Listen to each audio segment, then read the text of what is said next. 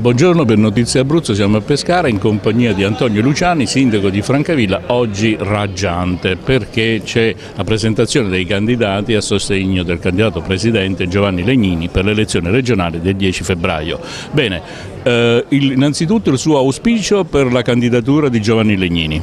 Beh, ho annunciato che sarebbe stata una cavalcata e mi sembra che sia proprio così, vedere ogni volta presenza di amici, presenza di curiosi che si avvicinano a questa figura, a questa grande figura che è Giovanni Legnini, fa capire che l'Abruzzo andrà in buone mani, fa capire che la direzione presa è quella giusta e devo dire che partendo da un momento veramente critico anche a livello politico, questo nuovo esperimento, questo laboratorio politico abruzzese che non vede il PD in prima linea ma vede un grande candidato quale Giovanni Legnini che riesce ad aggregare un'intera area di centrosinistra è una bella cosa, una bella cosa per quelli come me che ci hanno sempre creduto, che ci credono e quindi un viaggio, io sto continuando il mio viaggio attraverso l'Abruzzo, quello che avevo iniziato in solitaria, ora lo faccio come gregario per Giovanni Legnini e lo faccio veramente con il cuore e con piacere. Ebbene, ehm, lei ci può ricordare anche alcuni aspetti programmatici della candidatura di Giovanni Legnini? Ma Giovanni Legnini ha messo il dialogo al centro del suo viaggio, quindi una collaborazione con i territori,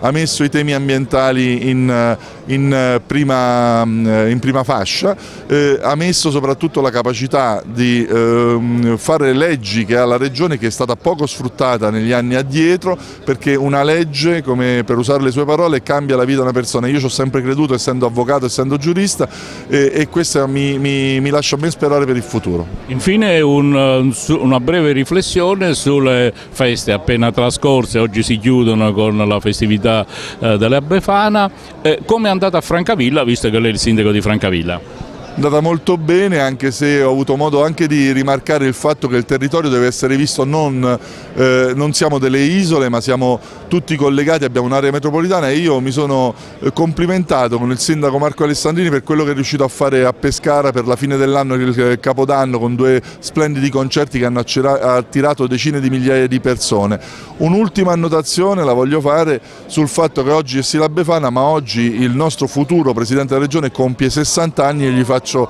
i miei migliori auguri. Ah, quindi è del Capricorno, eh sì. come Matteo Renzi che l'11 gennaio compie gli anni e come me poi tra l'altro, quindi siamo tutti del Capricorno. Lei invece di che segno è? Acquario, il 7 febbraio farò 50 anni, 10 anni esatti di differenza con il nostro Presidente, l'accostamento a Renzi avrei fatto a meno di farlo. Vabbè, ma sono gli anni che trascorrono, grazie a lei e buon lavoro. Ciao a tutti.